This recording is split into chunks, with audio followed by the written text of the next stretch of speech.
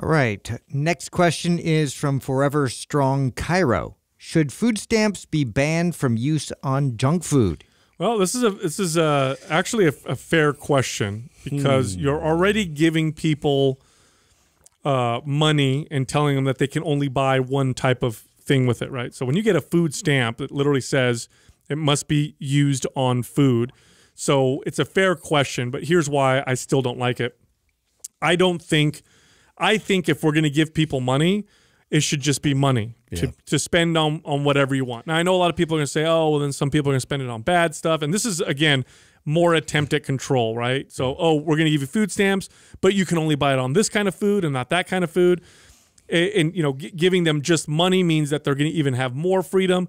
I like that because, yes, some people are going to spend it poorly, but there are going to be some people that are going to spend it well. Who knows how they'll spend it? Maybe they're going to use it on education. Maybe they use it to start a business. Maybe they'll use it for daycare. So no, I'm always in, in favor of less control. I don't like food stamps to begin with. I think people should just get money if we're going to give them anything Right. and make them spend it. But if since they already had food stamps, I don't think we should add an additional control. Plus, what is the government going to, uh, you know, you know, d- d- decide what junk food is?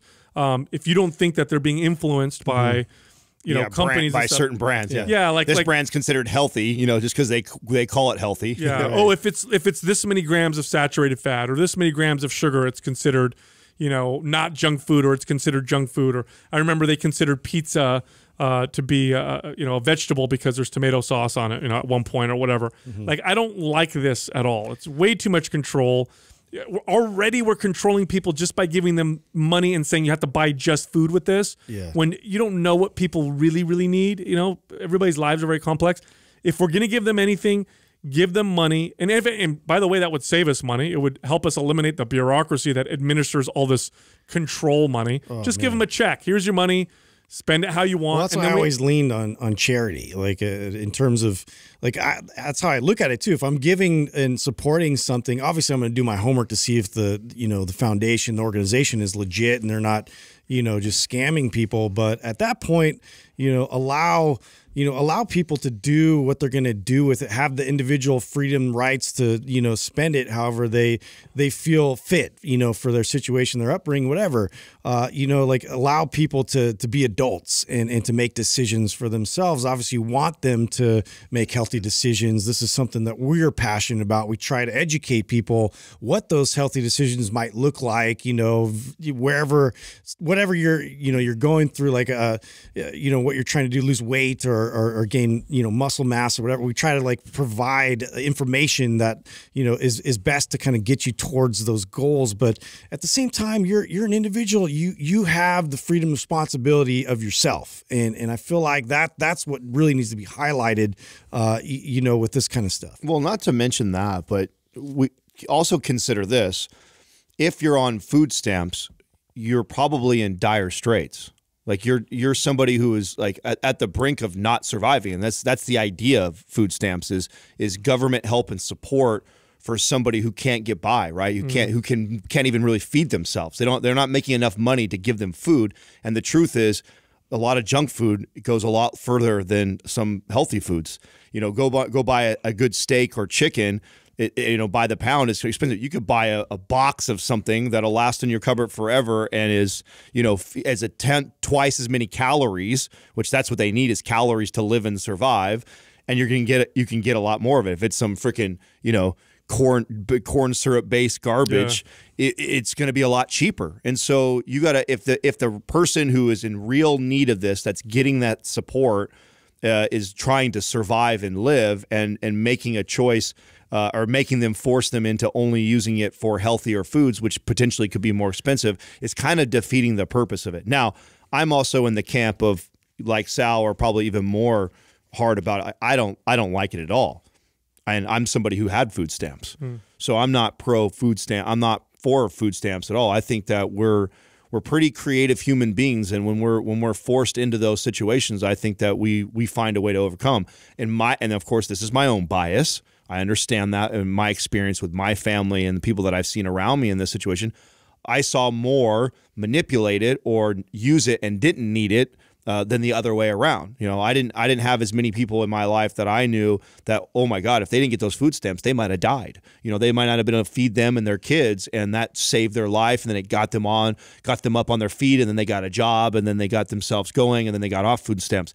I don't have a story to share with you that. I have plenty of stories to share on the other of examples of people that have got got it and utilized it because it's something that they can get for free. And that it, it did the opposite of motivating them to get them get out and get a job. They knew they could get these food stamps and they'd be fine. That's what i experienced in, in my life. So i'm not even a fan for them period. And if we are going to give them okay which we do I definitely don't agree with trying to regulate it even more. I just I just think that you're, it's just a bunch of control. It's more and more and more control. I have no problem uh, with people receiving help, and I have no problem uh, giving uh, people help. I think I think that uh, the you know the test of a good society is how they treat uh, the people um, who need the help the most. I'm a big believer of that. Yeah. Um, but you know, if you look at the whole system, if you look at all the the the benefits that people can receive and you calculate them out, it's a it's actually quite a bit when you add everything up, right? All the different subsidies and you add in all the different types of help and uh, in, in food stamps and all the other things. It actually uh, uh, amounts to a decent chunk of money. But what people don't realize is to admi- administer all of that through the complex bureaucracies that we've created to to administer costs all the just as people- much, if not more. it, it's it's a waste of money. Yeah. What if we took all of the money that we spent on that, and instead of paying a bureaucracy, we said, "You're all fired. We don't need a bunch of government officials handing this out and telling right, people." saying this is for education, this is for food, Yeah, this is for Here's your check. Spend it however you want, and then we got to be okay with people deciding on how they want to live their lives. Now, what's that's going to look like? Yes, I'm sure a lot of people are going to make bad decisions because people make bad decisions. But I also think a lot of people are going to use that money much more efficiently. You know, if you're the mom, if you're a, a single mom with two kids or three kids, and you have food stamps, and you're like, you know what I really need?